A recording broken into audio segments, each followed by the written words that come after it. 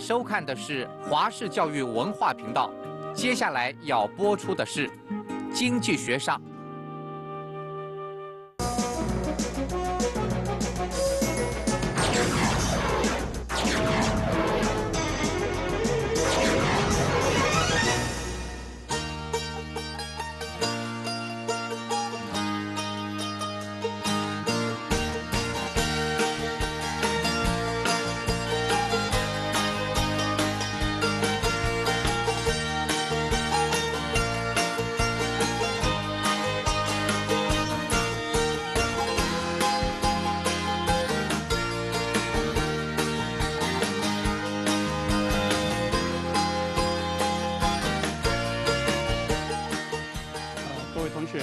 大家好，欢迎再次参与我们经济学上这个课程的讨论。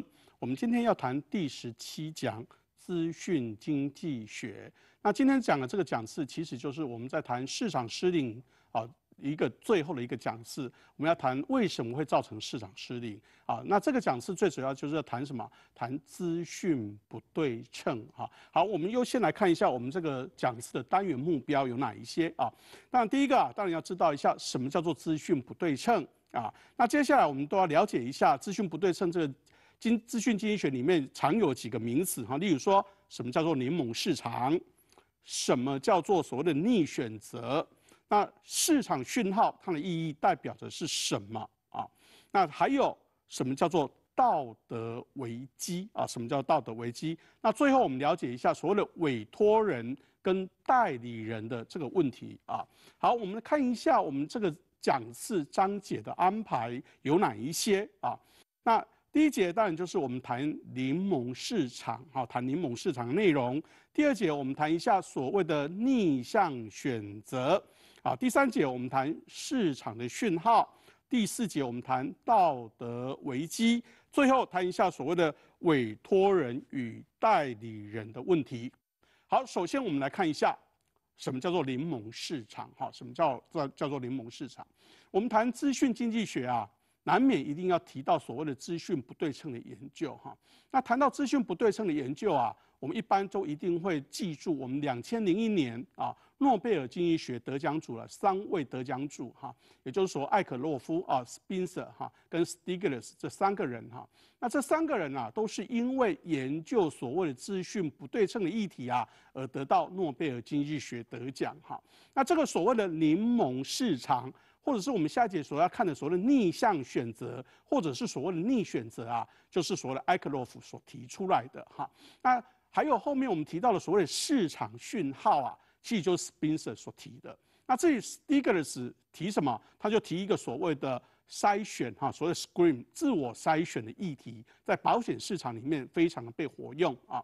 好，那什么叫做联盟市场啊？哦，根据呃 e k l o f 他的想法，概念上很简单。一般呢，我们认为市场啊有需求有供给，那就有交易嘛，市场就存在了嘛，对不对？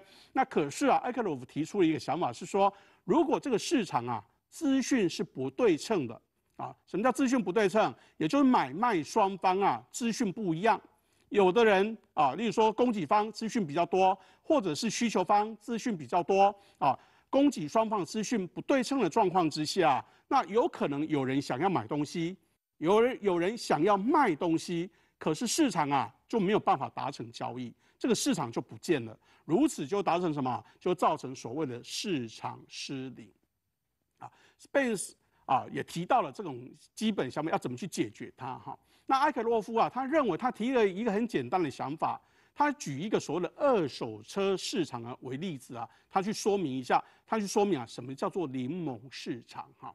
啊，各位同学可以想象一下哈，二手车市场里面要卖车子跟要买车子的人哈，谁的讯息比较多？要卖当然是卖车子了。例如说，我的车子到底好还是坏，性能是差还是好，它有没有有没有太太过被超过哈？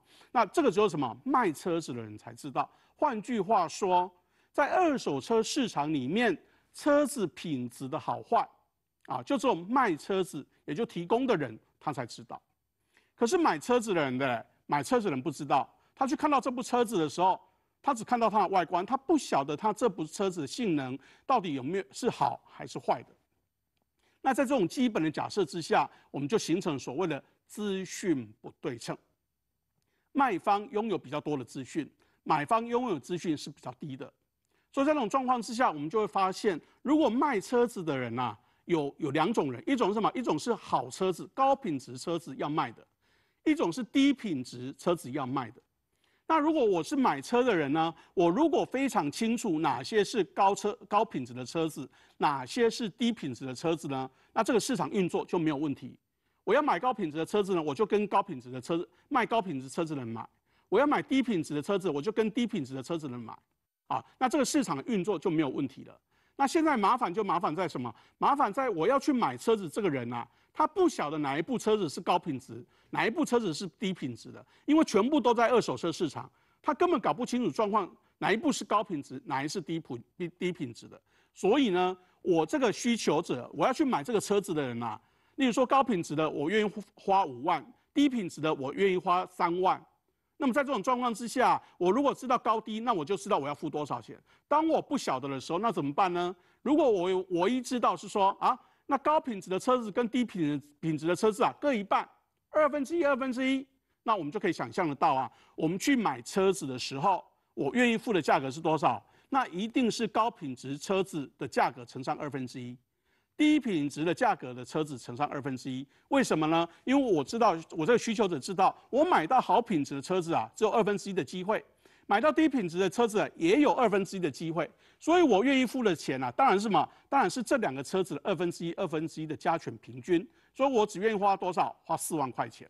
好了，那现在问题来了，你是卖高品质车子的人，你的车子可以卖五万块钱，可是当你拿到二手车市场来卖的时候啊，人家只愿意买多少？只愿意用四万块钱买。那聪明的你啊，哈，你的车子可以值五万哦，那你愿意卖吗？你愿意在这个二手车市场卖掉吗？你当然不愿意喽。好，那。回过头来，如果你是个低品质车子的人呢，哇，那你就很高兴了。为什么？因为你原来是低品质的啊。当你隐藏你的品质，不让买的人知道的时候，那你这部车子可以卖多少？可以卖四万块，你就有赚喽，对不对？好，所以在这种状况之下，高品质车子的人，也就是说它的品质比较高，高于四万块钱的人呐，这些车子都怎样？这些车主就退出这个二手车市场。他就不会留在这个二手车市场，因为他的二手车的市场，它的价格啊、品质啊、哈，他所卖到价格啊，不如他品质的高，所以他就退出了。一退出了以后啊，我这个二手车市场所留下来的车子啊，品质都低于什么？都低于这四万块钱的品质。好啦，那当现在消费者啊去买车子的人知道，哎，这些车子的品质都低于四万块钱的时候，所以他买多少，他愿意付多少钱去买这个车子，他就算一下，平均一下。好，他如果有。四万块钱的啊，也有三万块钱的，那平均起来大概就有多少啊？大概三万五千块钱，所以他就平均用三万五块五千块钱去买这个车子。同样的道理，品质高过三万五千块钱的车主就离开这个市场，留下的都是低于三千三万五千块钱品质的车子。所以不断的循环的结果，最后这个市场所留下来的车子，会在这个市场保留的车子都怎样？都是低品质的车子。甚至于，如果竞争到最后的结果，这个市场就没有人在卖车子。换句话说，柠檬市场透过这种不断的淘汰的结果，最后啊，市场没有交易，或者是说，这个市场最后留下来的车子啊，都是所谓的烂车子，都是品质非常非常低的车子。这就是所谓的柠檬市场的基本想法。啊，这是我们所谈到的哈。好，那对了柠檬市场这个资讯不对称最重要这个柠檬市场这个概念有所了解以后啊，那接下来我们就谈另外一个哈，就是所谓的逆向选择的看法。这是我们第二节的重点哈，谈到所谓的逆向选择。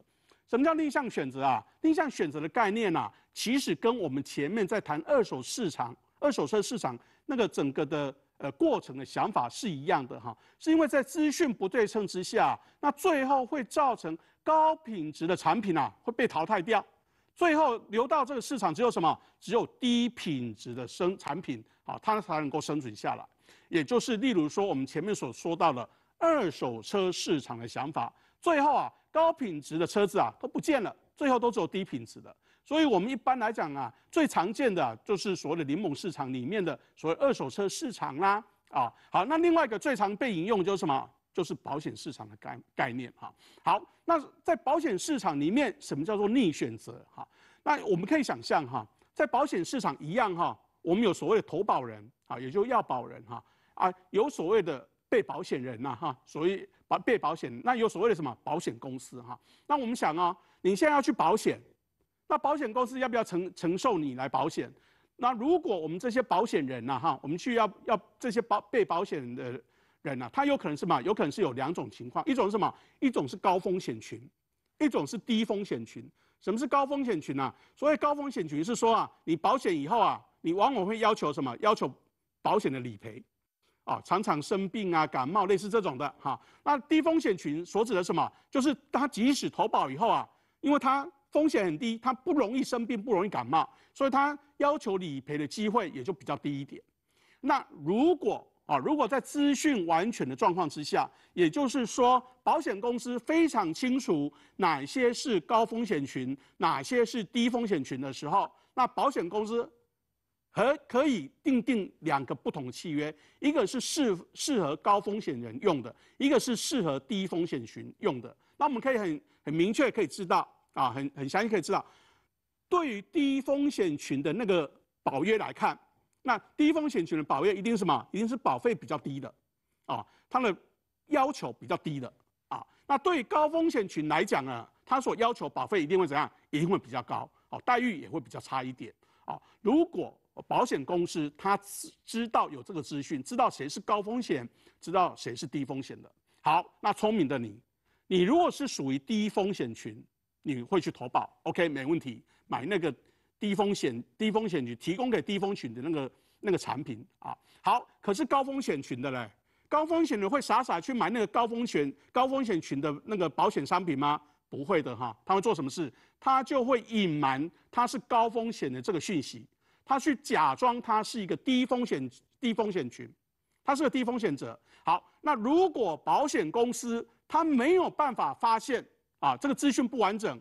他没有办法发现这个高风险者啊扮演着低风险群的时候，那么在这种状况之下，到最后啊，这保险公司最后都卖到什么？都是卖到那个低风险群的那个保保险的产品。那可是呢，最后这个保险公司就怎样？可能就垮掉。为什么？因为高风险群投保人很多，理赔也就很多，最后会怎样？最后保费会不敷什么？不非理赔理赔的支出，就倒闭了。好，那。为了要避免这种状况，那怎么办呢？保险公司就要想出一个办法。既然我不晓得谁是高风险群，谁是低风险群，那一样我就求一个什么？我就求一个平均保费。啊，我知道高风险群可以投保了，他要理赔的几率，我也可以知道低风险群要理赔的几率。那我就找一个什么？找一个平均费率。啊，这个平均费率呢，对高风险群来讲，对他来讲是有利的。为什么？因为他可以理赔的比较多，可是负担的费用比较低。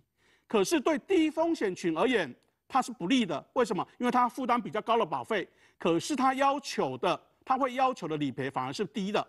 所以在这种状况之下，就会造成什么？在这种只有一类啊，就是有一种用平均保费收费的这种产品之下，高风险群就会持续的留在这个保险市场，可是低风险者啊，就会被这个市场所淘汰掉，他会离开这个市场。而这种过程，我们就称为什么？我们就称为逆向选择。我们高风险群在保险市场里面，高风险群它会一直持停滞停留在这个市场里面，低风险群呢就会离开这个市场。最后啊，这个保险市场最后里面都是什么？都是高风险群，也就会失去整个保险的意义啊。这个就是我们最常见的哈逆向选择的概念。啊，那我们还有常见的逆向选择，大概有什么？例如说，在公司里面，啊，在公司里面的员工，啊，那我们就发现什么？当老板他没有办法去监督或管理员工，去去监监督他说，哎，你到底有没有用功啊？啊，有没有努力工作啊？那我给你的工作，你如果努力工作的话，我给你钱比较高啊。你如果不努力呢，我的给你薪水就比较低啊。那因为，啊，因为老板呢没办法每天看着你。所以呢，他的监督成本很高，所以他怎么办呢？他也不晓得你到底哪一个工作，哪一个用功，哪一个不用功，所以他怎么做呢？他就一视同仁，每个人都一样的什么，都一样的薪水。好了，那再都一样的薪水，你看哦，如果你是一个努力工作的人，可是你的领的薪水竟然跟那些不努力工作的人一样多的时候，你会做什么事？你一定会辞职走人。所以最后啊，这个公司里面呢，就会怎样？就会只剩下那些偷懒的人。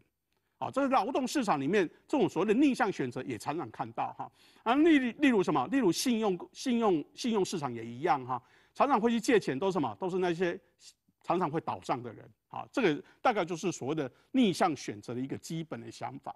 好，那当我们了解了所谓的联盟市场跟逆向选择以后啊，接下来我们就要介绍一个 Spencer 所提出来的哈。如何去解决这个逆向选择，或者是柠檬市场所造成的一个问题？我们称为什么？称为市场讯号啊，市场讯号。好，两千零一年的呃三位的诺诺贝尔经济学得奖，其中一位 Spencer 啊，他就认为啊，我们如果能够提供所谓的市场讯号啊，那我们就可以怎样？我们就可以解决这个所谓的逆选择，甚至于造成所谓的柠檬市场的问题。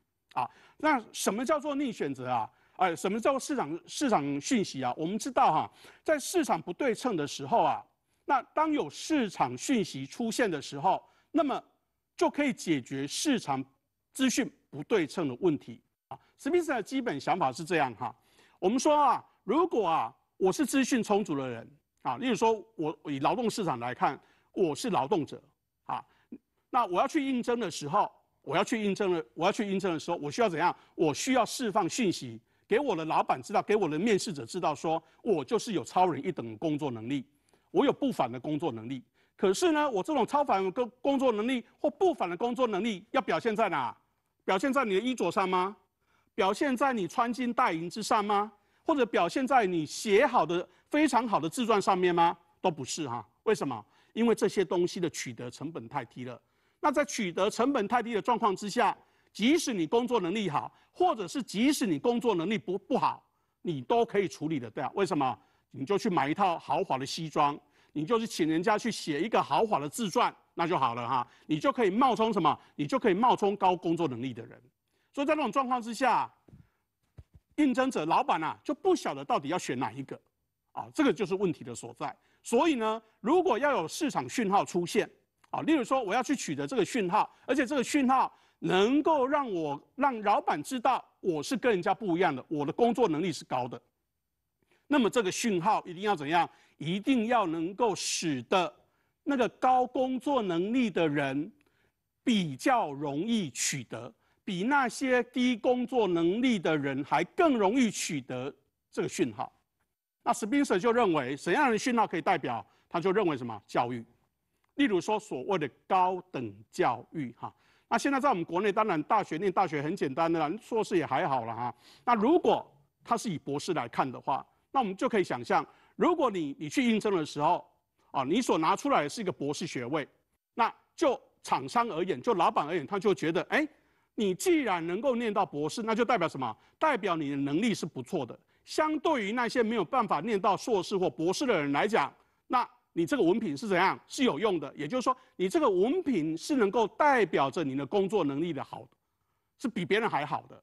这个就是所谓的什么？所谓的市场讯号的一个基本想法。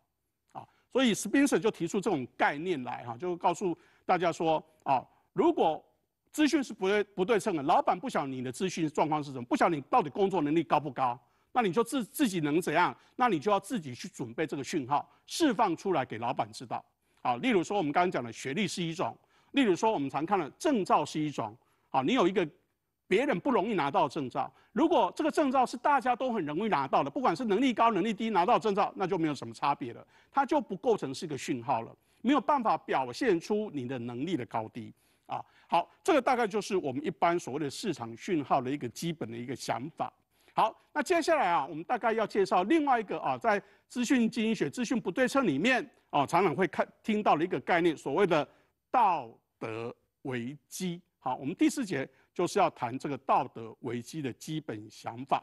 好，什么叫道德？什么叫做道德危机？哈，道德危机的基本想法大概是这样哈，在资讯不对称的状况之下，那交易的一方啊，哈，在签约以后啊，他会改变他的行为。或者是他隐藏他的行为，好，进而是损伤到另外一方的福利的状况，这个我们就称为什么？称为道德危机，哈，称为道德危机。那我们最常看到的大概是什么？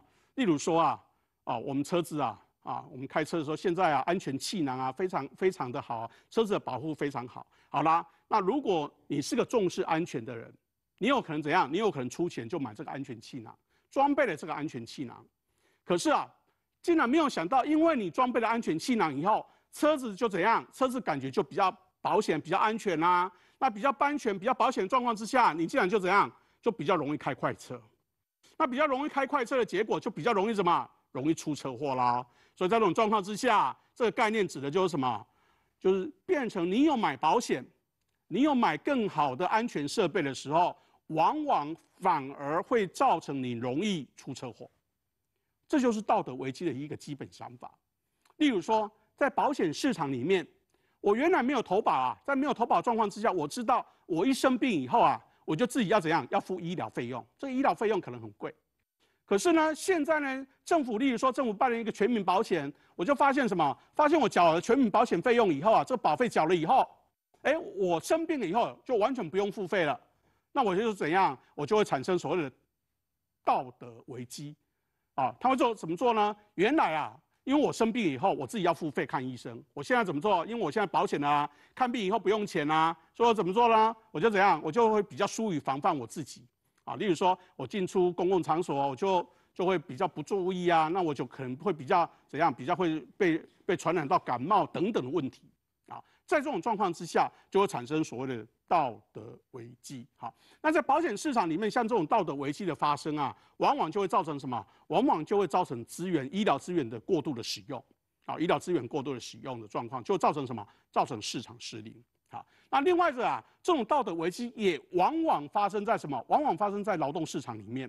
好，例如说啊，我在雇我我在应聘的时候啊，怎么办？我就我就展现出我的好意。啊，展现出我有我愿意多，我愿意为这个公司多努力的工作，多努力的工作。可是等我一聘上以后啊，担任这个公司的职员以后啊，我就怎么样？我就开始偷懒不工作。为什么？因为可能老板不知道啊，看不到我啊，他没有办法监督我啊。所以这种状况之下，就产生了什么？产生了道德危机。好，我被聘用以后，我反而怎样？反而就隐藏我的行为，就开始怎样？开始偷懒不工作。等等的哈，那另外一个就是什么？另外我们就刚刚所说的保险市场问题也会有这个问题啊。好啦，那针对这种道德危机啊，啊这种所谓的道德风险或道德危机的概念，一般来讲啊，我们要怎么去处理它？要怎么去去所谓的去防治它哈？当然有很多种方法哈，非方法非常多哈。例如说我们刚刚有前面有提到的哈，例如说提供的所谓的讯号等等的哈。那这里最常见到了，我们最常见到大概是。要么就怎样，要么就是加强监督管理，好，例如说老板聘人进来以后啊，那怎么办？那就怎样 monitor 他，好，就是花一些时间，好，去注意这个劳工啊，这员工到底有没有努力工作，好，那可是啊，一般来讲，我们都常常发现有一个问题是什么？是做监督工作的状况之下，这个监督的成本啊非常高，那就是因为监督的成本非常高的状况之下。啊，又在资讯不对称的问题情形啊，就没有办法去做比较好的解决。所以一般呢，为了这种所谓的道德危机啊，哈，在我们的所谓的保险市场里面，最常看到的一种方法是什么？就是所谓的类似所谓的共同保险的概念。什么叫做类似共同保险的概念呢？也就是说，我们让保险人呐共同负担这种财务的损失。啊，也主要也就是什么，也就是让保险人的成本能够提高，进而更加能够避免理赔事件的发生。啊，这个就是什么？这就是我们一般在讲说如何要防治这种道德危机的一个基本想法。采取什么？采取所谓的共同保险的基本想法。什么叫共同保险？想法很简单哈，就类似什么？类似我们现在健保的自付额的概念。什么叫健保自付额？也就是说啊，我现在投了健保以后，保了保费以后，对不对？等到你生病啊，看病要不要钱？不是不要钱哦，要钱的。要什么？你要共同负担。当你要共同负担的时候，那就有可能会减少你这种道德风险。为什么呢？因为你知道啊，你虽然你的投了保险以后，可是当你染病以后啊，你是不是就完全都不用付费？要哦，你要付费哦。所以这种状况之下，你就会比较注意你自己的身体健康状况。啊，这个就是什么？这就是所谓的共同保险的一种基本想法。好，那如果在劳动市场，哎，例如说我们在前面提到啦，劳动市场有可能怎样？哎，我在聘这个人的时候，哦，看他表现的非常好，什么都好，对不对？我就把他聘进来了。可是没有想到聘进来以后啊，发现什么？发现工作态度很差等等的啊，啊，可是呢，我可能老板没看到，那怎么办？我要怎么有办法让他能够真的好好努力工作？那有些方式是这样，我就怎样，我就不给底薪，或者是我不是用月薪给你的，为什么？你拿了月薪呐，你怎么做都可以，反正一个月就是拿三万五千块钱。那你工作努力跟工作不努力都拿三万五千块钱，那聪明的个人呢，一般嘛都是什么样？就工作不努力啦。所以这种状况之下，为了解决这种道德危机的问题啊，那在诱因上我们要怎么去设计它？也许我们可以采取所谓的什么？采取所谓的论件计酬的概念。什么叫论件计酬？你原来不工作啊，还可以领三万五，对不对？现在怎么样？现在你要努力拼命的工作，你每做好一件，我就给你一些酬劳。那你做的件数越多，我给你的酬劳就越多。那也许就可以解决这个所谓的道德风险或者是道德危机的问题。好，那接下来啊，我们就谈到另外一个最后一个主题，所谓的委托人。与代理人的问题，好，那委托人与代理人问题也非常常见哈。那最常见大家就就我们刚跟你讲了，老板跟雇员哈，就就是老板跟雇工。那老板要什么？老板可能要利润极大，要你好好工作，对不对？可是雇员呢？雇员只是他要他的薪水极高，那就会产生什么？就会产产生这个所谓的呃委托人，也就老板了哈，希望。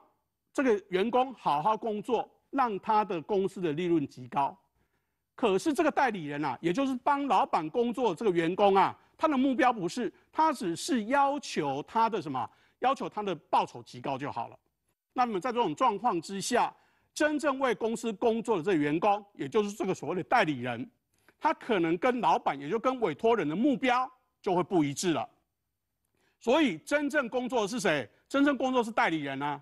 所以最后代理人在工作为这个公司工作的时候，他是为了这个公司利润在打拼吗？不是，他是为了这个公司，为了他自己的薪水在打拼，所以就会造成什么？造成目标不一致，所以最后就会形成所谓的什么委托人跟代理人之间的问题。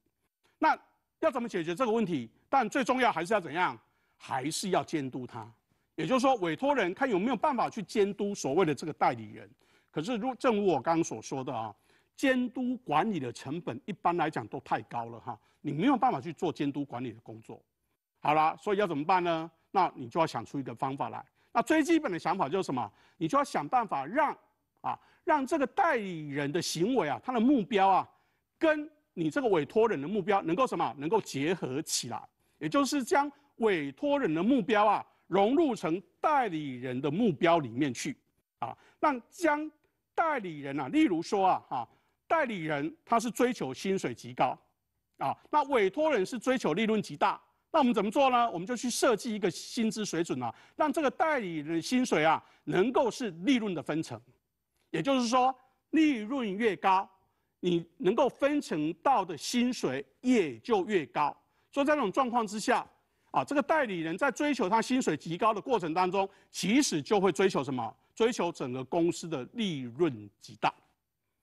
所以在这种状况之下，我们就可以就可以怎样？就可以比较简单的解决这种委托人跟代理人的这个之间的一些问题存在。哈，好，那以上啊，大概就是我们简单的针对呃现在比较流行的所谓的呃资讯不对称的问题啊，我们做了一些简单的一些回顾跟讨论哈，包含了我们想到柠檬市场啊，谈到了另向选择，谈到了道德危机、市场的讯号。甚至于最后一节，我们谈到了委托人与代理代理人之间这个问题哈。那相信各位同学对这个议题可能就很感兴趣。为什么？因为它跟我们的生活哈可能会比较息息相关的哈。而且最重要的哈，各位同学可能要记住了，谈到资讯经济学啊，那一般来讲，我们都一定会谈到所谓的两千零一年哈诺贝尔经济学奖得奖那三位啊，那三位经济学家哈，一个就是 Ekloff，啊，一个就是 Spencer 啊，一个是 Stiglitz 哈，这三个人对我们的资讯不对称的研究哈是有相当的贡献的哈。好，那今天基于时间关系啊，我们今天就讨论到此哈，谢谢各位同学的参与，好，再见。